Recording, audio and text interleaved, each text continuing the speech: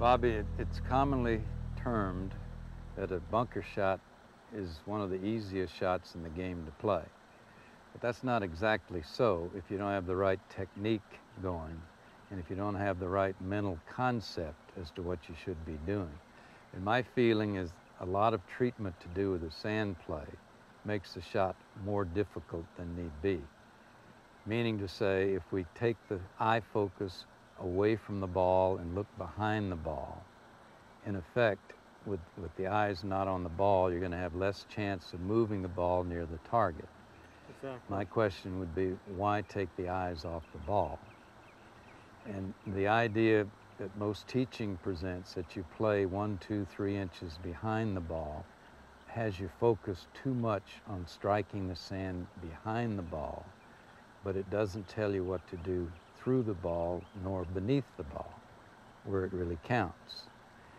So we'd like to design a, a little psychological ploy, a little help psychologically that can assist any bunker player. Now you being a professional player certainly are more expertised in, in playing a sand shot than the average player.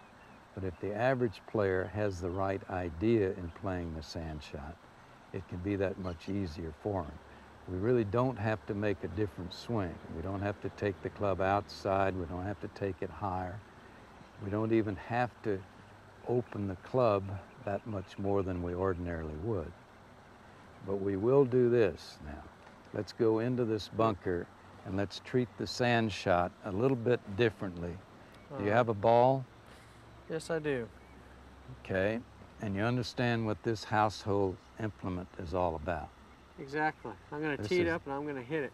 Uh, This is a tee. Probably every, every household is included with tees. Exactly. I'm gonna, I'm gonna ask you to put this ball on a tee All right. and submerge the tee into the sand. I'm gonna ask you to look at that ball, not behind the ball, but I want you to think of the edge of your wedge striking the tee directly in the middle of the tee. Okay.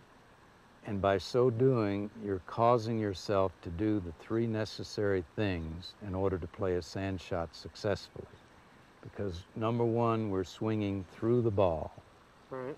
Number two, we're swinging below the ball. All right.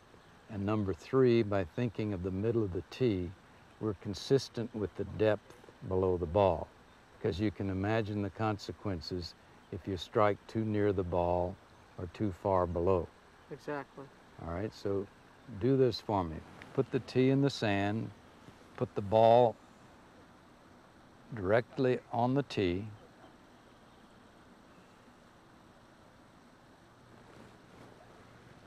And I want you to swing precisely through the middle of that tee. In fact, let's put another tee there,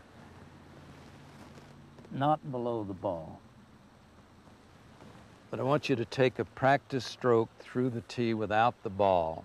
The idea being to swing directly through the tee, Okay. right through the middle of the tee with the edge of your club. That's absolutely perfect. Now move over to the ball, look at the ball, but think of the tee.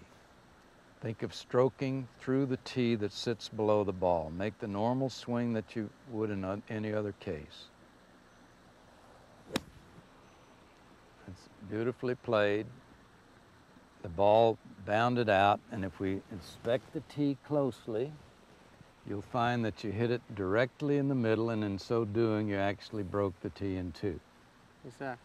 But by swinging through the middle of the tee, you had a safe shot in that you had a little cushion of sand between the club and ball. So there was no likelihood of skulling the shot out of the bunker.